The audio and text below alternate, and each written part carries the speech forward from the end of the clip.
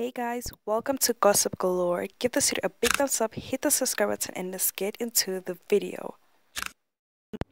Yo, guys, Usima has been training for her latest Instagram live. As a fan asked her during her live, where is her boyfriend, where is her man? And she went off. She went crazy saying, who is my boyfriend? I'm not in a relationship. Never did I ever con confess that Nami I'm dating. She's honestly telling the truth because during Gogo Skhotheni's podcast, she did mention that Naya, she's just vibing with the guy. It's nothing serious. And she's just trying to see where it's going to go. And here's the clip where Seemah actually tells the truth. Who said I'm dating?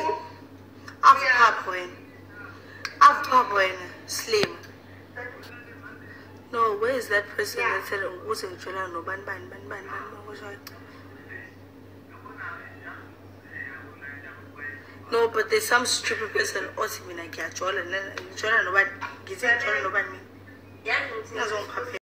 Yeah, guys, I guess the lover boy was just a rebound, guys. Don't forget to subscribe, but I hope you guys enjoyed today's video.